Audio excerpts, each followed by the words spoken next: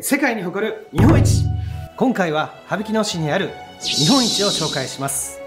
それは世界文化遺産にも登録されているモズ古市古墳群の王神天皇陵古墳。日本一の体積を誇る古墳です。この体積は京セラドーム大阪を超えるとんでもない数字です。また王神天皇陵古墳にはなんと約2万本を超える埴輪が並べられていたとか。これを文明の息がない時代に人の手で作り上げられたというのはにわかに信じがたいですよね。古墳の堀では春には菜の花秋にはコスモスがきれいに古墳を彩っています。羽曳野でぜひ日本一を体感してください。